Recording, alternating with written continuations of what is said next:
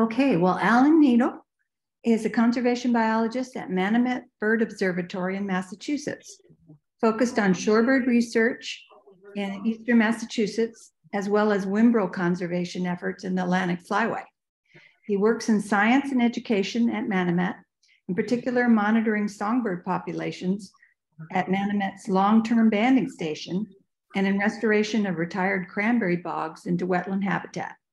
He worked in Alaska on shorebird research some years ago with Alex Lamoreaux. And so he joined Alex leading Orange Audubon's trip to Maine with Wildside Nature Tours uh, this past summer. And uh, we liked him a lot and invited him to the festival and are really pleased that he's giving this talk on his research. Welcome, Alan. All right, thanks a lot, Deb. I think I've got my, it's my screen sharing. Can you see it fine? Great. Um, I really appreciate being invited to talk to all of you and looking for those of you I haven't met in person yet, I hope to um, under a month's time meet some of you in person and uh, get out birding in your neck of the woods.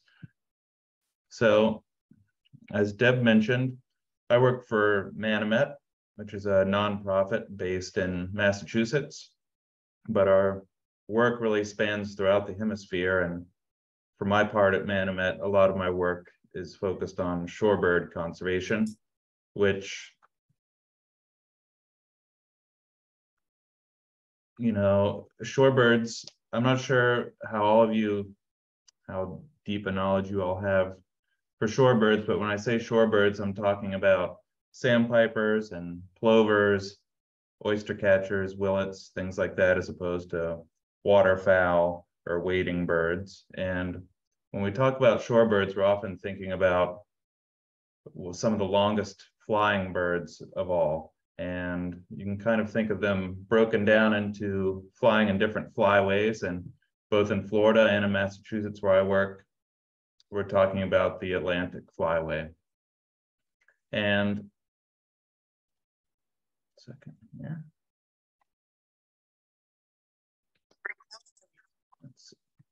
So Manomet's approach to shorebird conservation kind of necessarily is a three-pronged approach that focuses on conducting science, uh, working with regional partners for site conservation, and also looking at ways to ha manage habitats to improve habitats for shorebirds. And kind of these three approaches are all working together uh, to reverse the decline of shorebirds. And so for the scope of my talk today, I'm going to focus on a couple different areas within the United States, within the Atlantic Flyway, uh, Cape Cod, Massachusetts, where a lot of my work takes place, and then also the Georgia Bight, which stretches from Cape Hatteras to the St. Johns River near Jacksonville. And so I'll start out with highlighting Cape Cod, which is a the outermost part of eastern Massachusetts highlighted here in yellow and really is sitting out quite prominently compared to the rest of the Atlantic coast. And because of that, it's attractive to a lot of migrating shorebirds that are coming out of the Arctic and subarctic on the way to their wintering grounds. And so that area is a critical staging area for thousands of migratory shorebirds and not sure if any of you have visited there before, but one of the um, most important sites there is called Monomoy National Wildlife Refuge, which is a site of regional importance for shorebirds. The WHSRN acronym there stands for the Western Hemisphere Shorebird Reserve Network, which is a program that Manomet puts forth of identifying the most important sites for shorebirds in the Western Hemisphere uh, to to encourage uh, conservation of those areas. And so in Massachusetts in particular, uh, I'm, I'm working on research of a few particular species, which I'll highlight, and then down the line, looking at steps we might be able to take to improve the area for shorebirds. As Deb mentioned a little in the introduction, one of the species I work with most closely is the Whimbrel, which I'm guessing you probably see some numbers of. And if you travel up to Georgia and South Carolina during the spring, you probably can see lots of them if you know where to go. Uh, in Massachusetts, Whimbrels mostly come through during the fall uh, from Ju July through September. And it's an ideal location for us to study, in particular, juvenile Whimbrels that are coming south for the first time during September. And so you can, if you look closely in the top left picture there, you'll see a small satellite transmitter with a little solar solar panel on it. And so we've been deploying these on Cape Cod for several years now on juveniles to get kind of the first data of its kind to track juveniles during their first years of life. And this is part of a larger effort by many organizations to um, get tags on Whimbrels in various locations to map out their migration paths and identify those really important spots for us to focus our conservation efforts. So uh, I'll sh share a, one map here, which is pretty neat. These are uh, departure flights of Whimbrels out of Massachusetts over the last seven years or so that we've tagged. And all of these except for two are juveniles. And we've started to notice a pretty clear pattern of birds coming out of Massachusetts heading to Venezuela, and all going to the north coast of South America.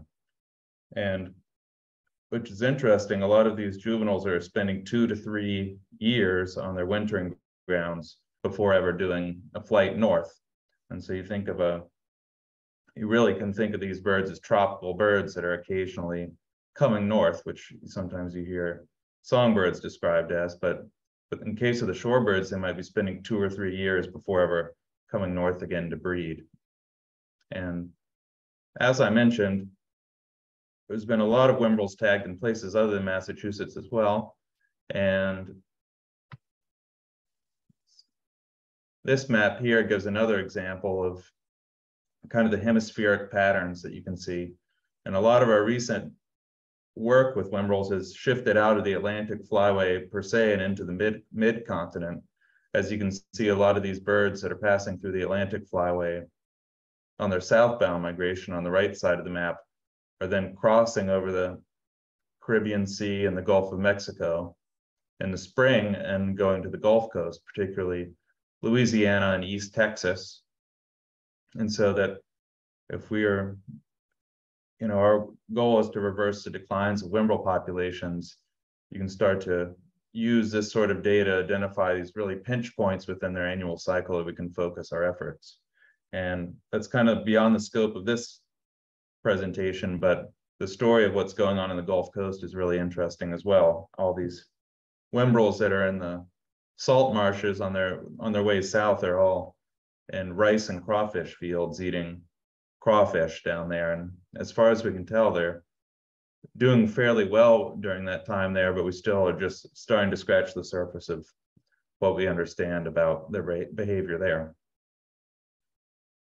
So we'll have a lot of time for questions at the end if anyone has any questions about Whimbrel specifically, but I'm gonna shift gears to another bird that is taking up a lot of our time in the conservation world of shorebirds, and that's the red knot, um, which is important.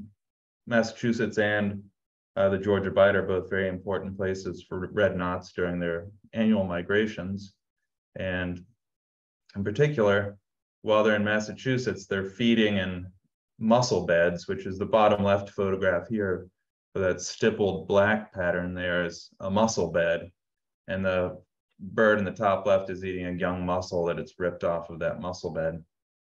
And so, well, Massachusetts is a really important place for red knots. They've historically, they've abandoned several sites that they used to be at and are currently declining pretty rapidly out on outermost Cape Cod where they're found. And so this will be my one foray into kind of some really abstract science that might be hard to wrap your head around. And I confess I'm still wrapping my head around it as well. But we've started to apply this new sampling technique that uh, is called eDNA, which stands for environmental DNA. And what it means in short is that we can take small samples of sediment or fecal samples in a lab can analyze that small sample and get a signature of all the living things that are present at that location. And so this method can be potentially used to rapidly characterize, um, say, invertebrate communities on a mudflat and a method that previously would have required you know, manually digging up pounds and pounds of sand and sifting through them for for all the actual critters. And so this year I've just started to pilot a new project on Cape Cod, uh, collecting both fecal samples of red knots. I, I follow them around and literally just watch them poop and go up and collect the poop in a vial. And then also have some standardized sites that I'm sampling sediment at to get to whether their prey selection and the distribution of their prey is potentially driving their declines. Um, this is just a little summary graphic of what I'm talking about there of you get your sample and then I really literally have to read this caption because it doesn't come naturally to me, but they have this method of being able to to take the meta bar the meta barcoding basically allows them to rapidly identify DNA signatures within a sample and then ways to amplify ones that are particularly likely to be from invertebrates. And so this last year I've gone out and these are that's all red knot poop on the fecal sample side and then me collecting sediment samples as well. And I'm only just starting to get some results. So I can't actually tell you what they're eating other than what I would guess, but I do have a a very interesting, mind-boggling graph here, I would say, which each one of those lines represents just one of those little vials of sample sediment or fecal samples. And each single sample, the sample size on the x-axis is how many DNA signatures is are picked up in one of those samples. And on that y-axis is the number of unique signatures or species. And so you can see that in a single sample, the eDNA analysis is picking up 50,000 DNA signatures of between 200 and 400 unique types, which could be 200 to 400 species. And so thankfully, the partners at the University of Maine eDNA lab that we're working with have a lot of methods to be able to parse this out to the likely kind of subset of invertebrates that we're interested in and be able to track the abundance and presence of these throughout the annual cycle that I'm out there sampling. So that's pretty crazy stuff. When I did not make this graph, the, the lab did and sent it to me, and I was I was really tickled to see it and excited to see that the um, the sampling method is working. And within a year or so, we'll actually have some results, I think. Um, but to continue our whirlwind tour, I should have come up with some quiz questions, but I wonder if anyone could have identified the, the boundaries of what the Georgia Bight are technically, and what the technical boundaries are from Cape Hatteras to Cape Canaveral, highlighted here in yellow. But Manomet's work within the Georgia Bight and our shorebird conservation initiative really are most focused on the region from the mouth of the St. Johns River up to the boundary of North Carolina and South Carolina. And that is mostly because that is where the largest numbers of shorebirds are present, particularly during migration, and a lot of the largest sections of suitable habitat. And so my co-workers, Abby Sterling and Allie Heiser, our full-time shorebird scientist. Um, Abby's based out of Brunswick and Allie out of Tybee Island. And they know this subject matter, matter better than I do, but I'm still going to highlight some of the work that they're doing down there. I've been down a couple times to help them do Whimbrel surveys that um, in the spring counting the roost sites down there, particularly in Georgia, and identifying some of the key night roosts and getting a head count of how many whimbrels are there. So I should also quiz you all on what shorebirds these are right now, but I won't risk opening the floor. But in the top left, we have a piping plover. I should also quiz you what age that piping plover is, but that's a juvenile fledged piping plover. And down in the bottom left, we have some red knots, some dowitchers, some sanderlings, and some a semipalmated sandpiper and a dunlin, it looks like. It's actually a pretty diverse photograph there.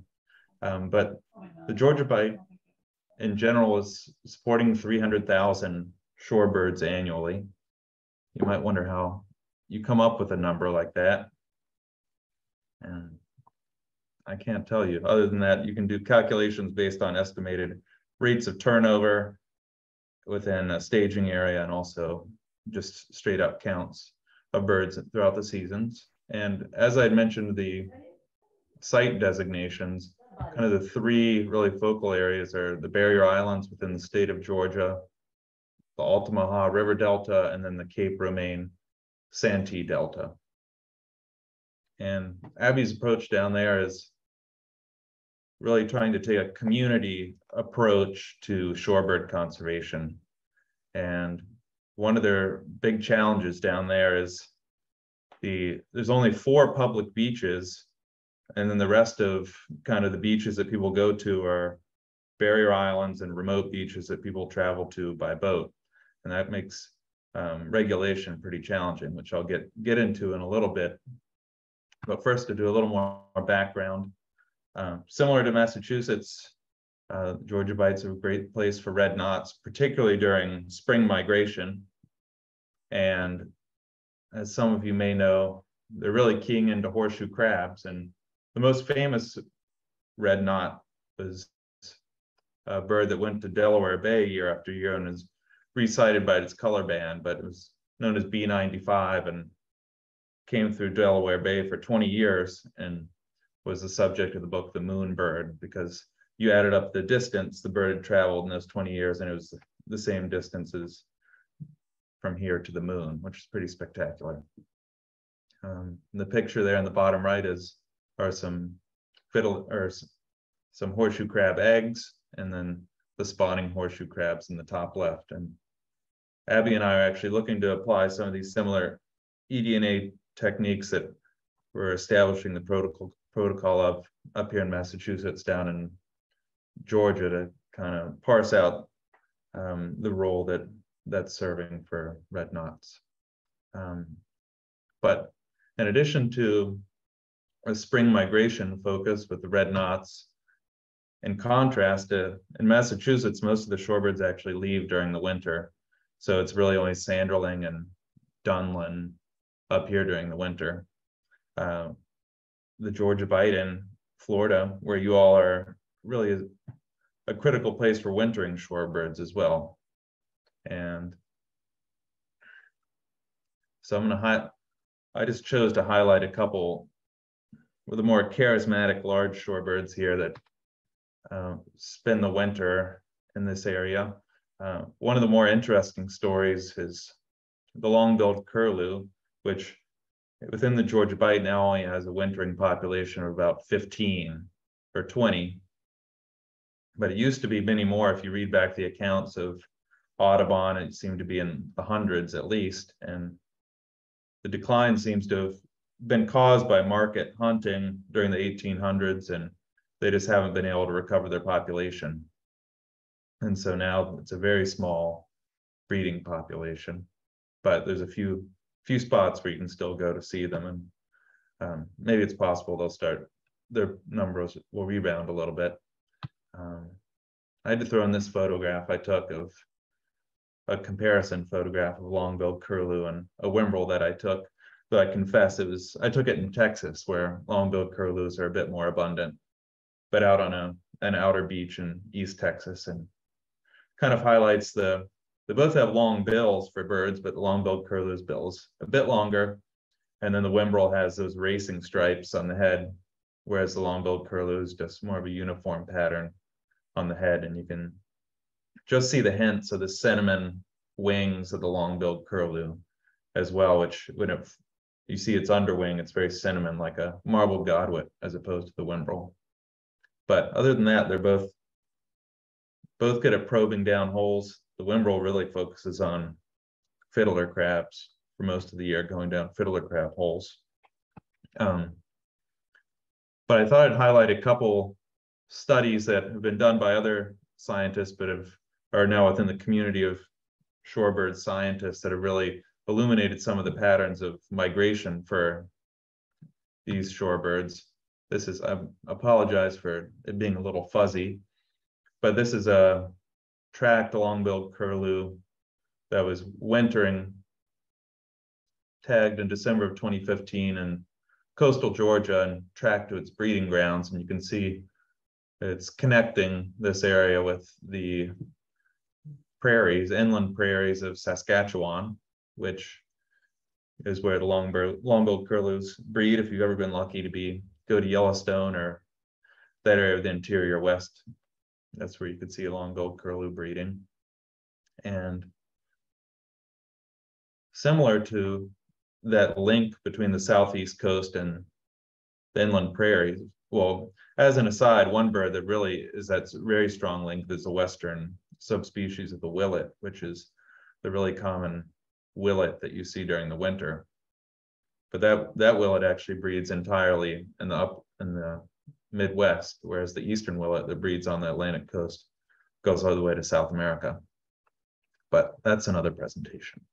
Um, another one that I'd love to highlight, just because I love them so much, is the marble godwit, which if it had a down curved bill, you could say it looks a lot like a long-billed curlew, but its bill's reversed and it's upturned.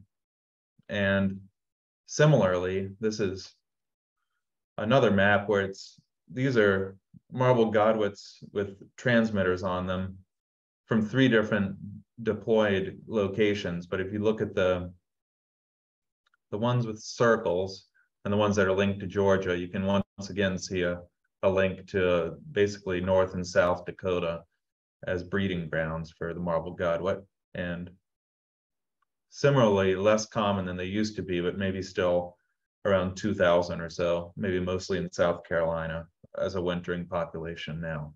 Um, that's kind of a rough, rough estimate.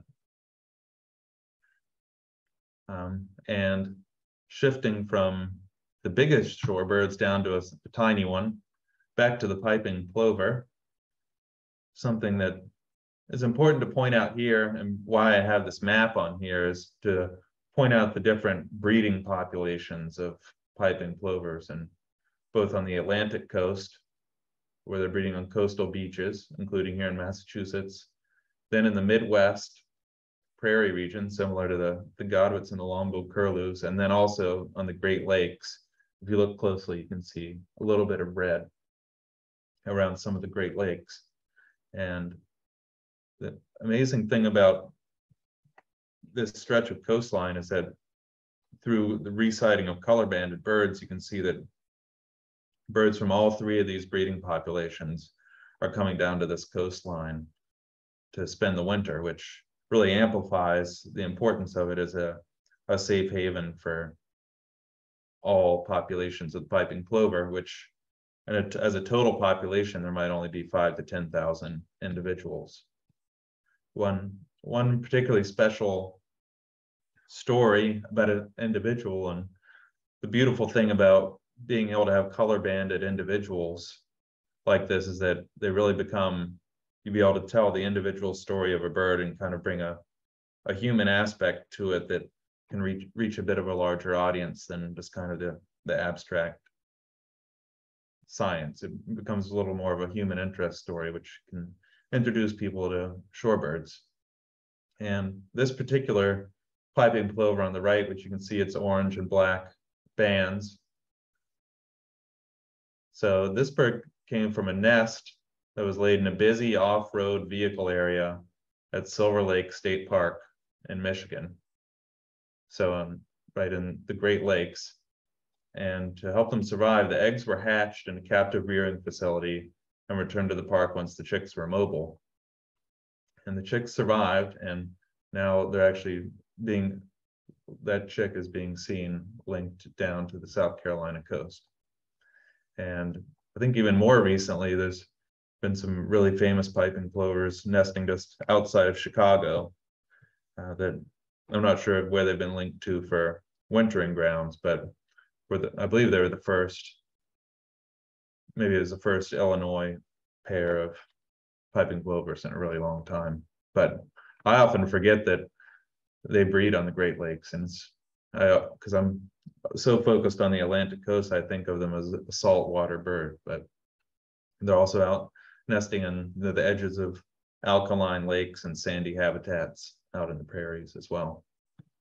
Um, so for my final section, I just wanted to shift gears a little bit from this kind of barraging y'all with science and graphs and stuff like that and shift gears into you know the assumption with doing shorebird working in shorebird conservation is that uh, shorebird populations are in peril and in decline and through long-term monitoring we know that's true but it's you know we're also intent on identifying ways to reverse declines and identify what's causing the declines to begin with. And particularly within the georgia bight uh, abby and allie are focusing on the impact of disturbance.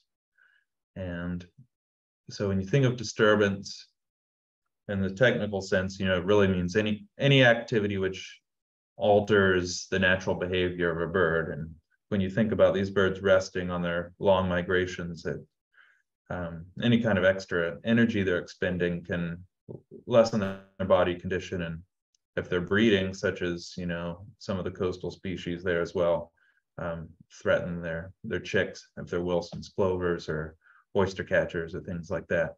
And so you can think about dog dogs off leash leash or heading out to your remote island and with your boat and cutting loose because you think you're all by yourself. But in fact you're if you're in a remote place you're probably also around a lot of birds. And so Manomet has really identified that disturbance is one of the real angles within the Georgia Bight that we can take some tangible steps to kind of curb some of the negative impacts that are occurring to shorebirds uh, throughout both the breeding season, migratory period, and the winter. Winter, and so, as I kind of alluded to earlier, one of the challenges is that there's only four publicly accessible beaches in Georgia where this is actually this particular program is exclusively in the state of Georgia at this point. Um, there's only four publicly accessible beaches and everything else is remote. So you, you got to think about law enforcement is not necessarily going to be going out to the remote barrier islands and going to all these places that are difficult to get to. And so it requires kind of a three pronged approach and really focusing on positive messaging and building partnership with those who are invested within both the tourism and recreation industries to kind of create a cultural change that could have um, a sustainable long-term impact. And so these three approaches are creating wildlife beach zones at public beaches, a certification program for ecotourism companies, and also an, the all in the same boat outreach with recreational boaters which takes places at boat ramps and marinas. And so I'll just briefly highlight these three.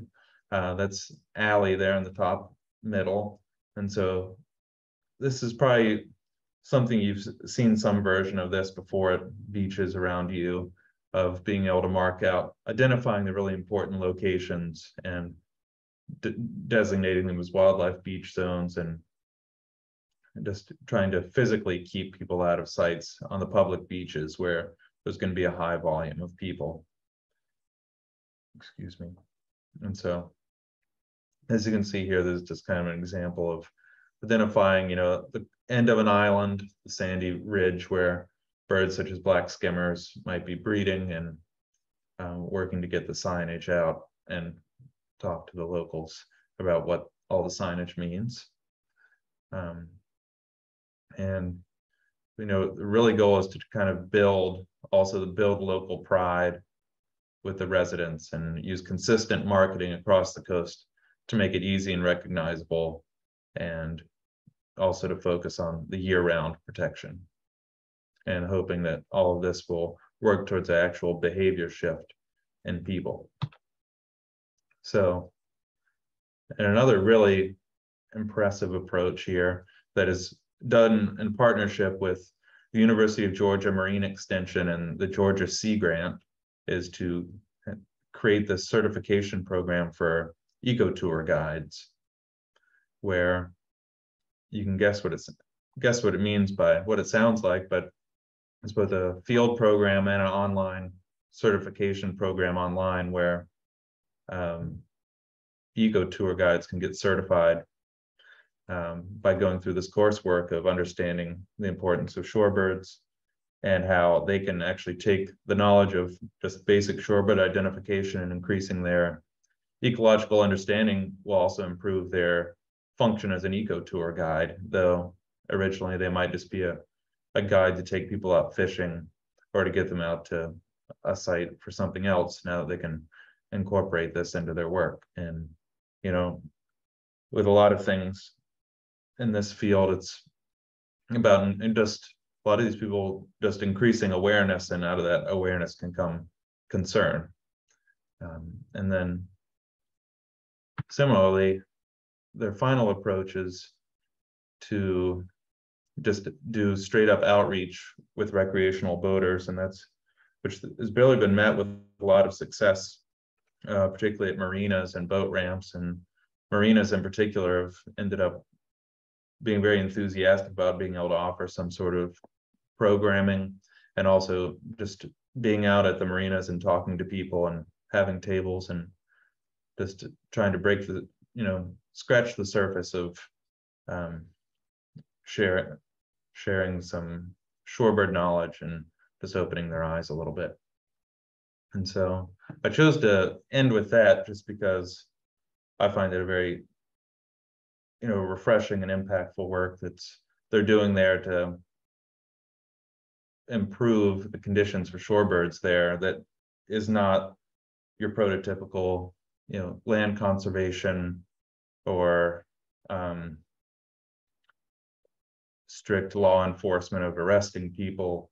And it's a more of a holistic approach that if um, providing, you know, passing on these beliefs could then be a really sustainable, you know, teach it to the parents, pass it on to their kids sort of thing that could uh, have lasting impact as opposed to just um, making people angry and fining them for bad behavior.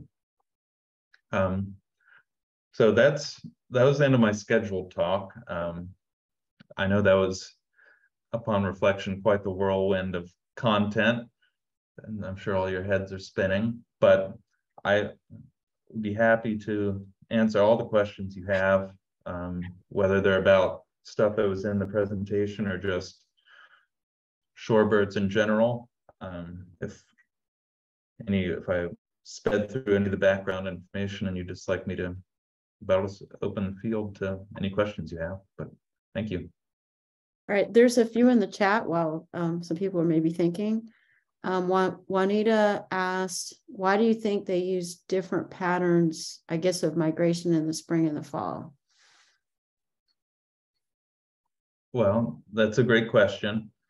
Uh, does anyone anyone in the audience want to take take a guess? You can unmute yourself. It's fine. I'll say that when Deb was pulling up on her favorite new website has a lot to do with it. I'm not sure if that was before the official presentation.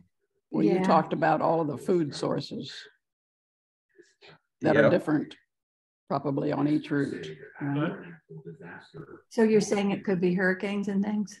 Yeah, so one is definitely food sources, but a- a big key of a lot of what's driving the long, the long distance flights are prevailing wind patterns. And so these birds, a lot of these, the routes are followed by lots of different species and prevailing wind patterns. For example, generally over the Gulf of Mexico in the spring, there's a nice southerly flow, you know, south to north, a really great tailwind going north and uh, going out over the Atlantic, heading south, you might be likely to hit north winds that are a tailwind as well. And we have amazing stories of individual tagged birds departing the Atlantic coast under seemingly ideal conditions and halfway across the Atlantic running into hurricanes and things like that. And just a bird that my coworker Shiloh tagged in a Whimbrel that he tagged in Alaska this this summer uh, was spending its southbound staging period in the eastern shore of Virginia, was there for a month or so and took off right when a hurricane was due south and actually had to fly back to mainland Florida and then went back up to Virginia and then spent a couple weeks and then took off again. So it's very site faithful to that one staging area, which is uh, something I really didn't emphasize enough of this how shorebirds in general are very have high site fidelity of um and but yeah i'd say it has a lot to do with wind patterns and then also uh, capitalizing on locations that have abundant food sources for that those dates Interesting. Let's see. So um, Terry asked, how long does the flight Cape Cod to the Antilles take? He says, I, I assume they can't feed along the way. Yep, that's that is very true. You're one thing I always like to as all of you are bird nerds, you probably know this, but some of the sometimes I give talks to people who know nothing about birds and have to point out they know Whimbrels aren't like hawks that can soar and they're not like ducks that can sit on the water. So they're flapping constantly and not able to stop over the water. And so it's once they, they're going, they're kind of going, um, unless they fly over Bermuda by chance, but that's probably pretty slim. So it could take about four days nonstop. And so for only this, this is really the first year that uh, we've we've started to deploy transmitters that have the ability to track meteorological conditions such as wind wind speed of where the bird is and also speed of the bird as well and so and also altitude. And so birds that we worked with university of oklahoma whimbrels in eastern texas this spring deployed 20 tags there specifically for to understand how birds are behaving within the atmosphere. And some of those birds were going well over 100 miles per hour due to tailwinds, and sometimes up to five or 10,000 feet in the sky. So it's wow. it seems daunting from the you know, it seems like a incomprehensible journey, but the more I learn about it, the more I realize that they're really built for this in a lot of respects. And if they have the good enough sites to fill up on food and fuel reserves to prepare for the flight, that uh, they really are are built to do it. And it, they fly during the day. They migrate during the day. Yes. It, so typically they depart in the evening, but then would be flying, yeah, day and night Wow. Uh, so Juanita said she took a photo of a fledgling banded piping plover that arrived on her Atlantic Beach, Indian River, Indian River County, and it fledged in the Wisconsin lake that you showed, which is interesting. Oh, cool. And Dory asks, how are breeding conservation strategies for states different from wintering locations? How successful are the strategies in wintering locations? Well, I'll start with the last question. So it's a loaded question. It's a really challenging topic is a lot of the shorebirds that are in the greatest decline are spending the winter in South America, uh, a lot in the north coast of South America. And a lot of that coastline is pretty remote. Uh, but at the same time, that's kind of a double-edged sword of being lots of habitat, but also there's risk of actual hunting still for food, especially for Whimbrels and the Lesser Antilles and the Guyanas of the north coast of South America. Uh, even though it's technically illegal, for example, in Suriname, uh, there's still lots of shorebird hunting going on for sustenance, which um, you can't really fault a family that is has the option of you know shooting some shorebirds or going hungry, but at the same time, it's a challenge regulation wise. And, um, for example, in Suriname, I know that shorebird hunting is illegal, but they have two rangers for the entire country, the entire coastline, basically. And so, uh, even if the, that law is in place, it can be tough to regulate. Um, and I forget the first half of the question. Okay, let me, let me go find it. Um, how are How are- breeding conservation strategies for states different from wintering locations? Yeah, so. Well, if you, yeah, if you think about it, like. Breeding locations are challenging because the birds are linked to their nest. And they're also linked to. Their babies, which can't fly, and so. It's. A lot of breed, so I guess it also depends on, if we're talking about shorebirds that are breeding in, say, the, the lower forty-eight states on beaches such as piping plovers and snowy plovers and oyster catchers and things like that, then it really comes down to being very reliant on stewards and people to help identify their key spots and either put up signage. Um, and in some, some cases, it comes down to controlling predators that are, you know, coyote, even if they're native species, if it's a listed species such as piping plover, doing things such as predator control to help kind of stem the tide.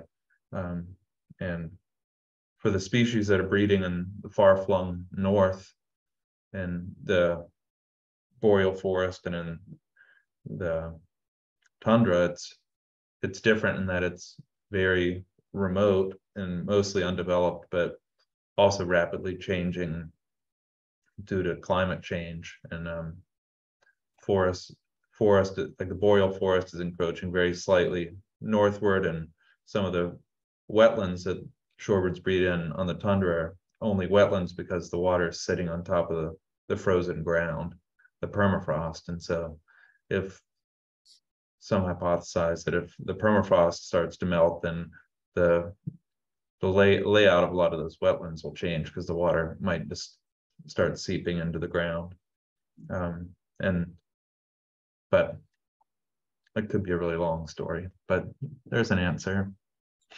The semi-palmated sandpiper needs the Bay of Fundy as a stopover. Can you tell that story? Yeah, that that is a true statement. Um, yeah, so the Bay of Fundy is one of the the key spots for tracking trends in semi-palmated plover numbers and declines and that location in particular have kind of been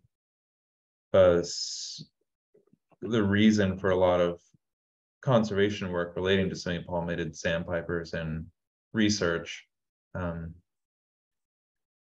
Manomet, I guess over the last 10 years, maybe 10 years or so, it's kind of hit the news waves that numbers of semi-palmated sandpipers were really declining in the Bay of Fundy.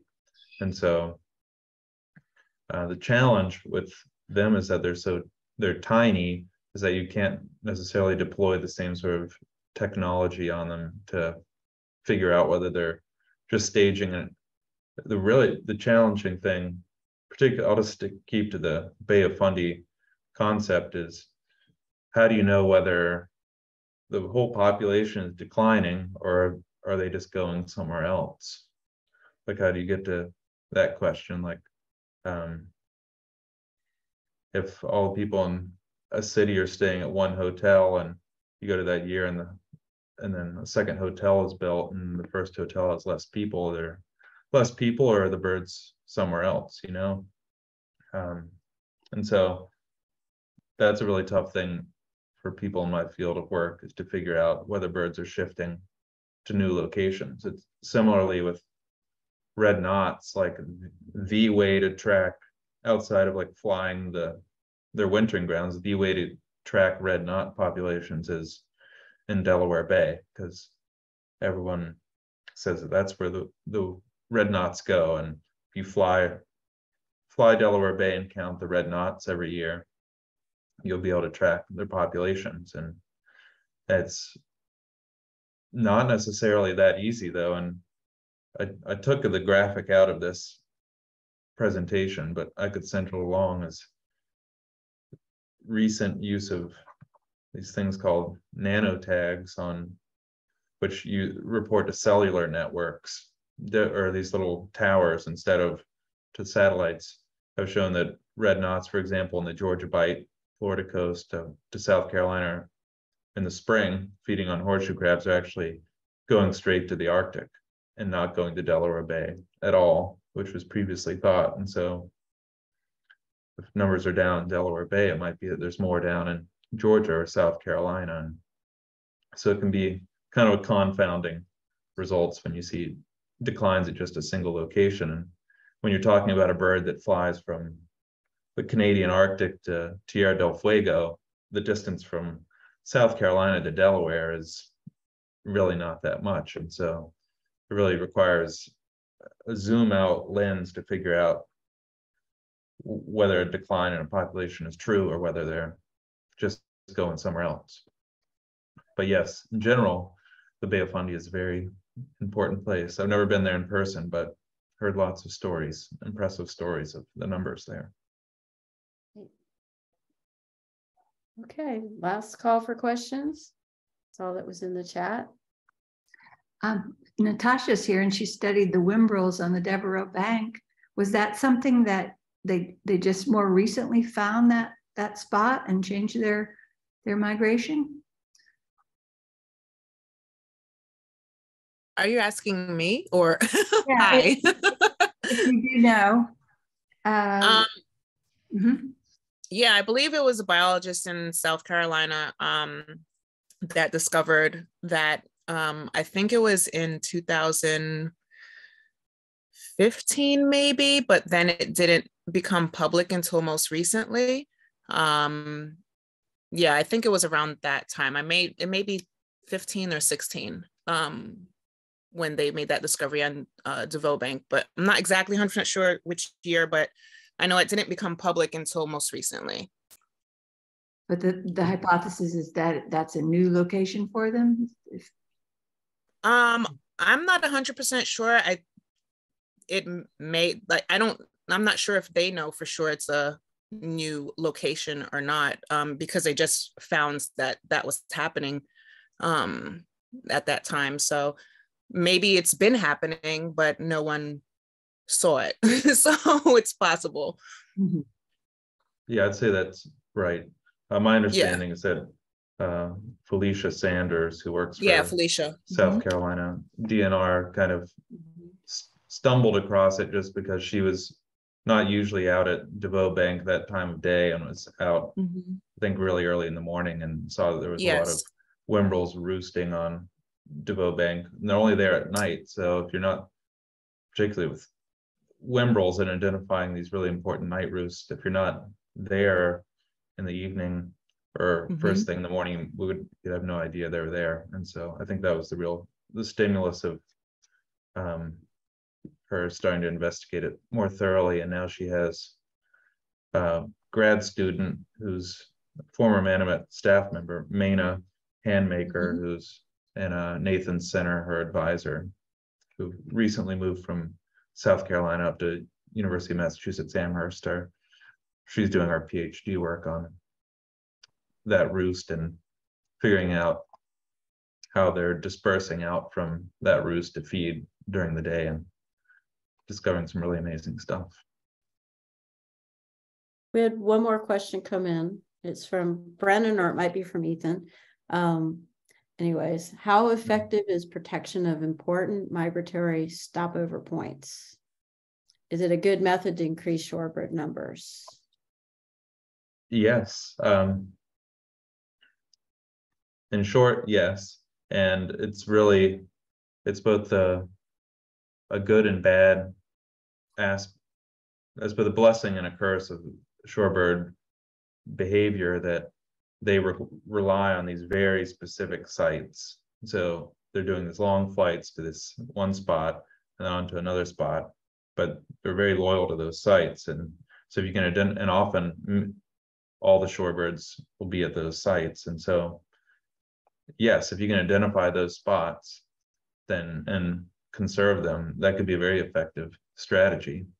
And much more effective than say if how do you come up with a you know conservation strategy for a cerulean warbler conserving its migratory path if depending on the way the wind blows it might end up in a uh, a vacant lot or someone's front yard or an entire state altogether uh, during migration they just don't really have the the same flying fortitude and to be able to hone in on the exact same spots during their migrations. And so um, that's the one positive side of that aspect of shorebirds is that if you can identify which um, identify these really important hubs and create a network of them that um, it can be an effective conservation strategy for sure. And you go to those places and you'll see lots of shorebirds and it's a little more difficult for the breeding grounds and wintering grounds because, especially the breeding grounds, they're all dispersed. Uh, even though there might be millions of them in the Arctic, they're each have their own territories, and you walk for five miles and might see you know two or three pairs of black-bellied plovers. But so it's it's different.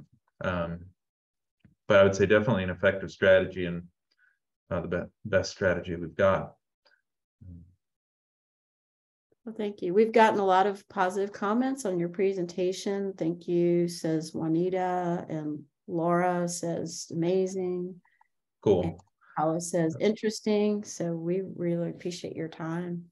Cool. I took off the last slide, but I'll just put in my chat, the chat, my email, and also Abby Abby's email, who runs the the Georgia Bight initiative, in case you have any questions. But I'm always happy to answer any questions you have, and or you can just save them for a couple weeks from now, and I can answer them in person.